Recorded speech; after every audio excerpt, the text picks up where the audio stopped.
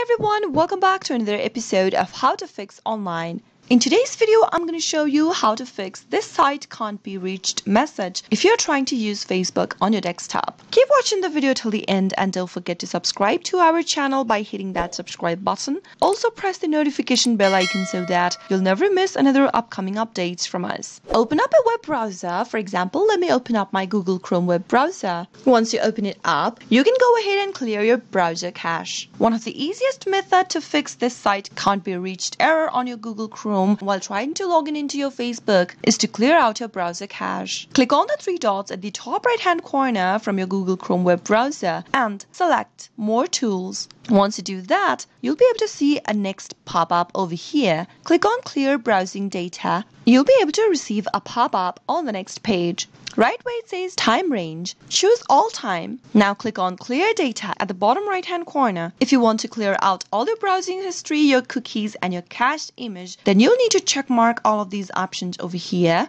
Go ahead and select the wise choice. Make sure that you click on the box that you'd like to select and finally click on clear data. Once it is done, go ahead and try logging into your Facebook account by typing in www.facebook.com and see if that fixes your issue. If it still does not work, then the next thing to do is to make sure that you've disabled any VPN on your computer. If you've enabled a VPN on your computer, then this might be one of the main reasons why you are not being able to log into your Facebook or use your Facebook account. So make sure to turn off your VPN and go check if that fixes your issue. If that still does not work, then the next thing to do is to restart your router and modem. Unplug your internet power cables, wait for 2-3 minutes, and plug it back again. Now you can go open up your Chrome web browser or your any other web browser and see if that fixes your issue by logging into your Facebook account. Those were some of the fixes you could try out whenever you are receiving this site can't be reached error message on Facebook. I hope the tutorial was helpful to you. If it was, go ahead and give us a thumbs up I'll be back soon with more tutorial videos like this. Thanks for watching.